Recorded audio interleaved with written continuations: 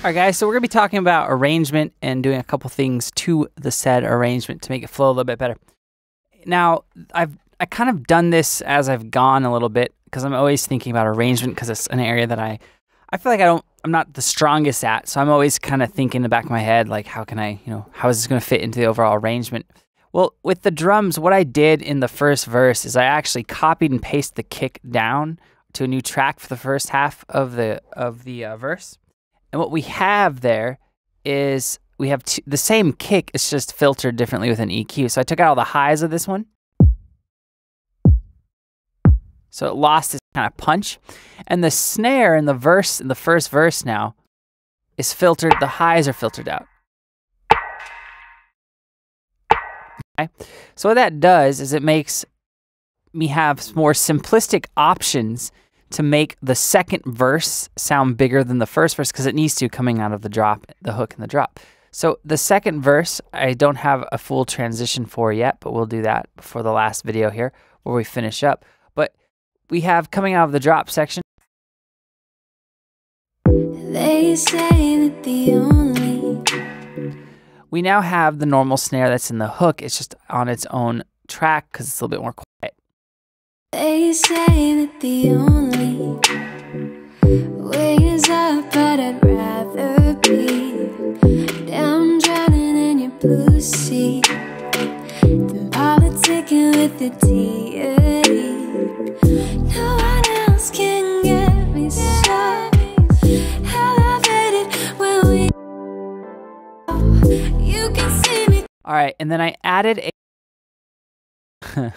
I did not mean to slow that. I added another pad to this to, to make it different different and have it be differentiated from the first verse. Listen to this part. You got this that I can feel.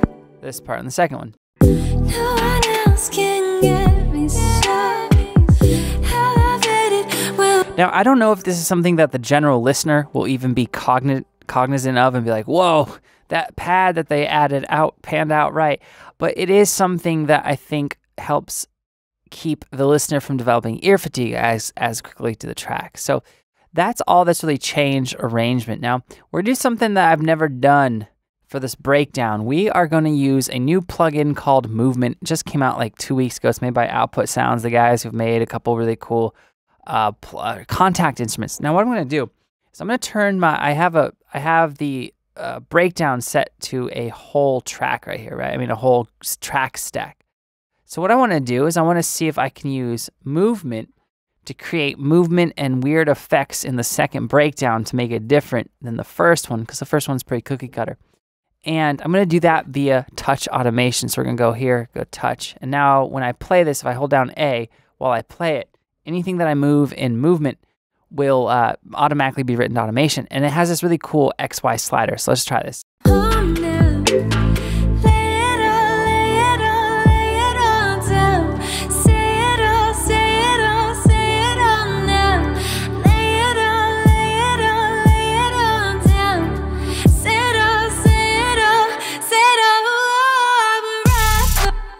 Let's see how that sounds.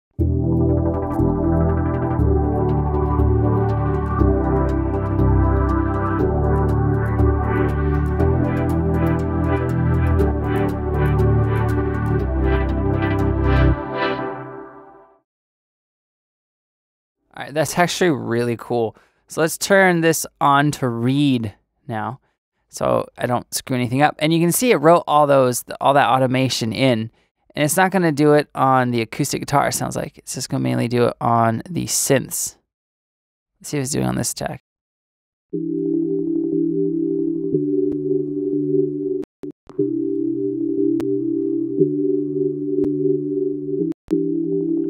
Let's see if it's doing on this pad as well.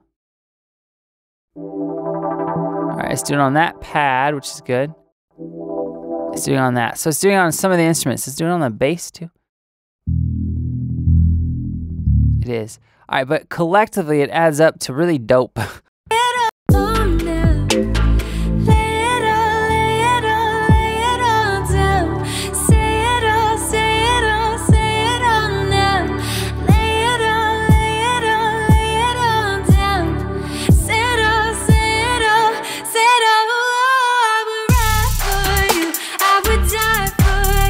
right, so I really like that. I think it's actually pretty cool. Let's make sure it's not on the first one as well for some random weird reason. So of course it was on the the uh, first one. So what I had to do, I had to I had to bounce that one, the first one that I didn't want the movement effect on.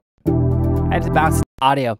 And then what I've done, I've actually been playing around with movement, and it's actually been the plugin that has brought the whole track together. So I feel very lucky that I put it on that track. I put it on the synth chords in the drop and in the hook in the first drop. Let's listen to these real quick. So I have the two sounds that we've looked at multiple times. It's that lead sound coming from Synthmaster and then the one coming from Serum.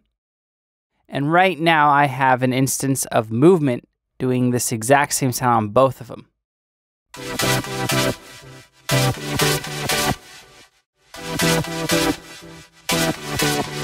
Now, for me personally, in my my opinion, I think this that type of synth wobble for future bass fits this track a little bit more, and it's going to fit Luna's style a bit more because it's less of an EDM feel and more of, I mean, not EDM was the wrong word. That's more of like a flume style feel, less of like a um, like a poppy kind of track. So that's what we're trying to do there. So let me get these uh, markers out of the way real quick because I have markers going for the rest of the song. All right, so let's listen to this drop with movement on both of those synth chords.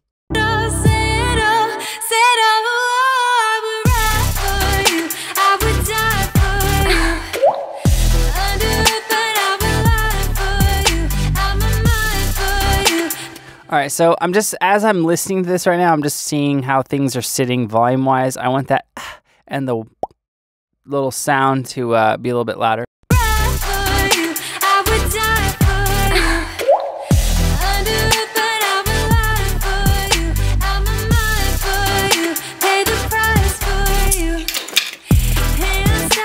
All right, we also have a drop now. And in this drop, what I did was we already looked at this harp and this little uh, glitch sound. That's arpeggiated. Now I have a Spire lead that I bounced to audio because Spire was being grumpy. That's left, right. And then we have this little vocal glitch. Then we have a lead coming from ReFX Nexus. That's the lead that I wrote the melody on. And then we have, I'm using Exhale by Output. So Output sounds have been a very important part of this production. Uh, we have Exhale on here doing some vocal chops. Let's listen to this real quick.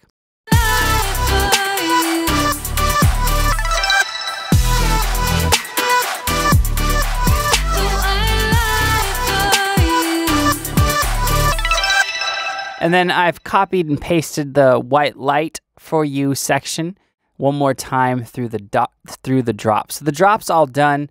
I like where it is. It might need a little bit more mixing help with like compression and all that, but it's pretty much done. And then I also added this little transition because this was just a space. Now the thing I actually like about this song is I don't have a boatload of white sweat like white noise swells and risers. It's it's kind of uh, it's lacking all that, but it's giving it a really cool feel because almost every EDM song does that. So with this, I wanted to keep it simple. So I just took and chopped. This really cool tip and trick. If you're ever struggling with transitions, I took the last little bit of the drop.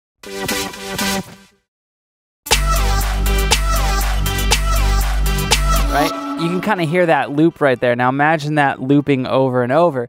Well, I looped it twice and then I filtered out the high frequencies using a channel EQ, which will be automated. So let's watch that. and it flows back in the verse on a frequency and volume level for the second verse much nicer. All right, let's also look at one other thing I did was mess around with movement. Uh, I was like, why not? Let's throw movement on a sound in the verse, and I did. And we have movement right here. Great plugin. You guys should seriously consider purchasing it if you're looking into future bass. It is such a fun plugin, and it, it, it is different than uh, Sugar Bytes Effectrix. It's just creates this subtle movement in your track. So I have this panned out left and right, or just to the right. And you can hear it kind of flutter as it goes. It just fits this vibe of the track really well. All right, so then this breakdown has movement on. Okay. Now, I finished the arrangement of the track, and Luna is not around to record more vocals, so I had to get interesting with the bridge section. So, coming out of the second drop,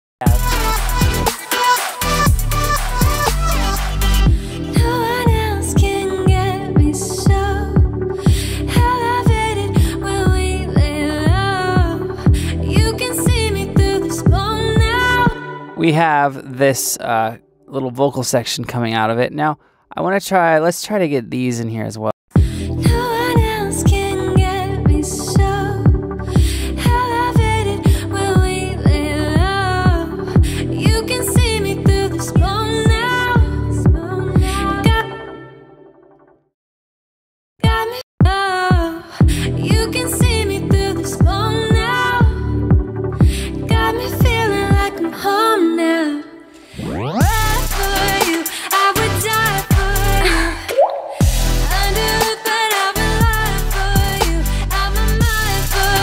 So for the last drop, I was messing around with uh, actually getting those synth chords back in that we were dinking around with the entire time. So let's try that real quick.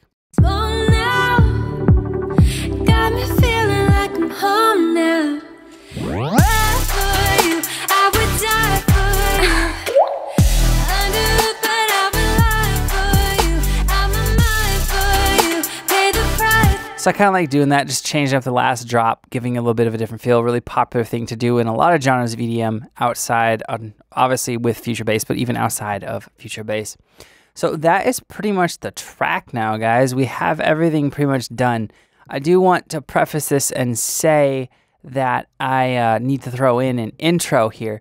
And intros are usually the last thing I do. They say that there's no such thing is fake, but I don't trust much of anything that comes from mouths that I can't see or touch. But you got this that I can feel. Because I like to see how the track feels before I do the intro.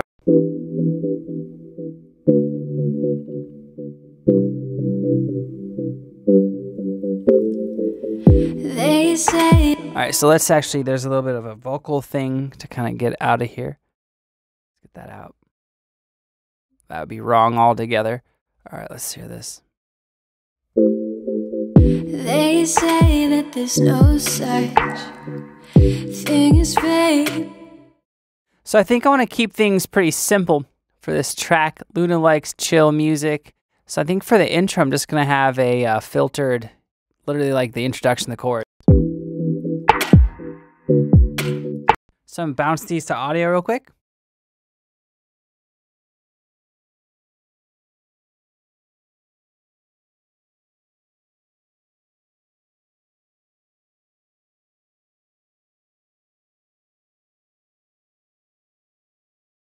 All right, so we muted that. Let's get an EQ on here. We're gonna roll off everything here.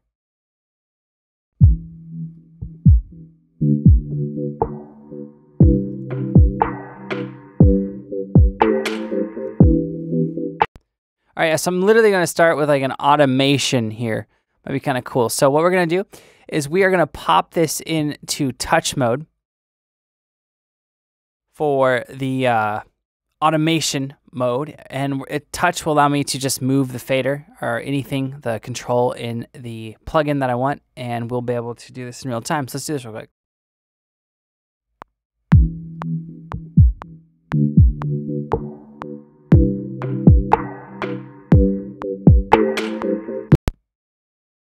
All right, so that sounds kind of cool. Let's listen to it. They say that there's no such. Change it to read. So here's my intro. Really chill and relax. Kind of feels like a DJ intro in that it's like sliding into a song they on a set. Say that there's no such thing as fate, but I do. All right, guys. So that really sums up this track, except for some few minor edits this thing is pretty much done. Now, I want to thank you guys for watching this tutorial course. I hope you guys got a boatload of cool information. I hope you feel comfortable and feel invigorated with the idea of doing some future bass productions.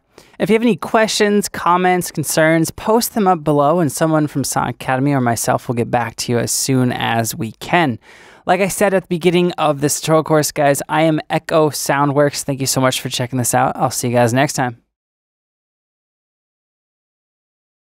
If you like this course, why not head over to sonicacademy.com where we have hundreds of complete track builds in every genre imaginable, including all the project files and samples. You'll also find tutorials on plugins and synths, mixing and mastering, over 250 tech tips, artist interviews, along with our award winning plugins, samples, and preset packs.